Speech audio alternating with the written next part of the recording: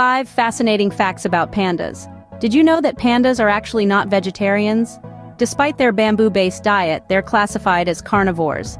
Next up, these cuddly creatures spend around 14 hours a day eating. That's more than half their day just munching away. Pandas have a special bone called a pseudo-thumb.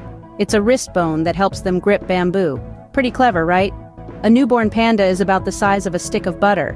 Tiny, but they grow quickly. Last but not least, pandas have been on Earth for two to three million years. Talk about old souls.